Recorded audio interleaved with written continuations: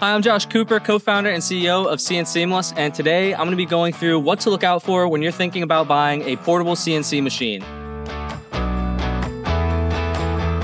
You might come here and be checking out this video for portable CNC machines and what the differences are and the key benefits. And today I'm going to cover those. What kind of material are you cutting? What profiles are they? What kind of cutting method are you planning on using? The Mach 1 can do a lot of different things. So if you're cutting things like gussets and patterns and holes and slots and all sorts of different things, it'd be great to have a two axis or three axis machine like ours or other similar options that can do all that complex movement. You want to think about how does your machine mount to them? You've got a couple of different options. There's some machines that use permanent magnets. There's ones that use electromagnets like the Mach 1 here. We have the ability to mount vertically, upside down, to pipe with our new attachments.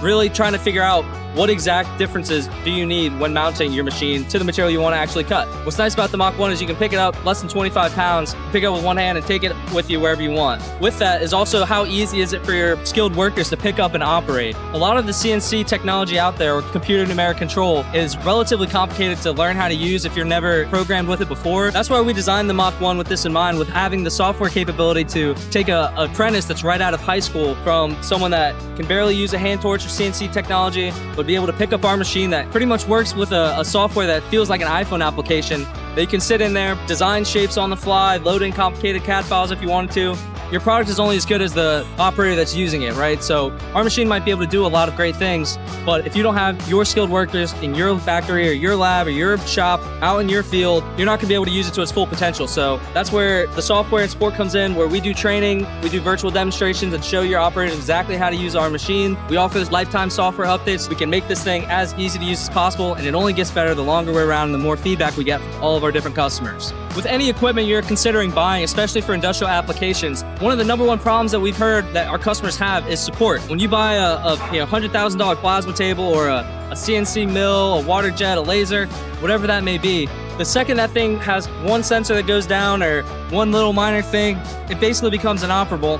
And unless you have a really good supporting team at that company supporting you and your products, uh, they're not going to be the right fit unless you can get that support. So the support team you're talking to is myself and my team of engineers. So what we're doing is basically trying to be as quickly responsive to you as possible. We develop software features and push them out to you sometimes same day or same week. We can make this machine work for you and be that applications engineer to help you figure out exactly how you can make the most out of using our machine. When you're making a decision on what kind of portable CNC machine you might want, you want to take that into account. Is this thing going to survive falling off of a, a beam on a piece of concrete?